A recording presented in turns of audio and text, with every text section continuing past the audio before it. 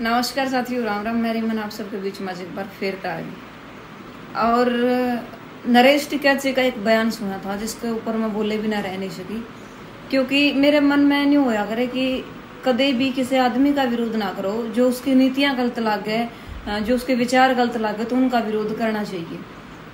नरेश टिकैत जी का हमने मान सम्मान खूब कराया था, जब किसान आंदोलन के अंदर वो साझेदार बने थे, भागीदार बने थे और सच्चे मन के साथ बने थे। लेकिन जैसे जैसे समय बीतता गया, किसान आंदोलन के बाद अजय चौटाला जी को बुलाया जाना, उसके बाद अभी ब्रिजभूषण के समर्थन में बयान देना कि ना किसी की हार हो, ना किसी की जीत, कोई बीच का रास्ता निकाला जाए, हम ब्रिजभूषण जी का जो सम्मान है वो नहीं खोना चाहते। कब तक झेलोगे तुम इन लोगों को? कब तक मौन बन करके फिर आप लोगों में और दूसरे लोगों में फ़र्क क्या रह जाएगा? फिर क्यों कोसते हो सरकार को कि सरकार गलत कर रही है?